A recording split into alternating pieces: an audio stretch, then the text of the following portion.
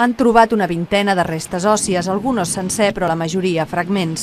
La recerca encara és oberta mentre els forenses de l'Institut de Medicina Legal a Tarragona analitzen el material. Hem fet una primera valoració, eh?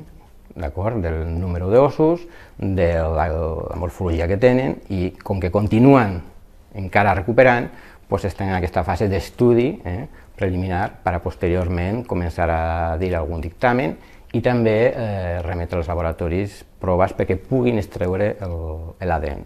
Si les restes són humanes, es pot trigar setmanes a identificar-les.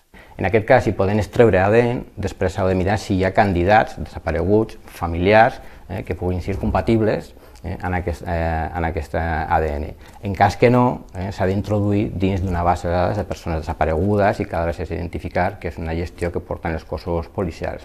Descarten que les restes siguin d'un jaciment arqueològic i treballa especialment l'antropòloga forense de l'equip, format per 20 forenses. Per a ells, aquest és un cas singular. Hem tingut eh, casos no? eh, que han aparegut cadàvers al mar, restos ossos al mar, algú a, a, a l'interior, a vegades en excavacions properes a cementeris pues, passa una mica això, però bueno, la qüestió ja està molt orientada, no?